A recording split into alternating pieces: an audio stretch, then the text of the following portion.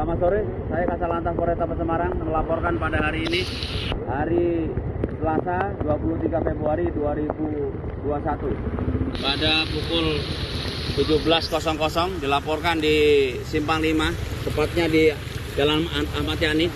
Untuk kendaraan roda 2 banyak yang mengalami mogok macet karena debit air tinggi sementara ini. Sementara untuk arus lalin kesendat untuk roda 4 juga sama untuk sementara dilaporkan dari Simpang 5 hanya mobil-mobil besar yang melintas sementara ini. Demikian yang bisa dilaporkan dari Simpang 5 Kasar Lantas Polrestabes Semarang AKB AKBP Sigit SIKMH Seduluran Salawasi. Wassalamualaikum warahmatullahi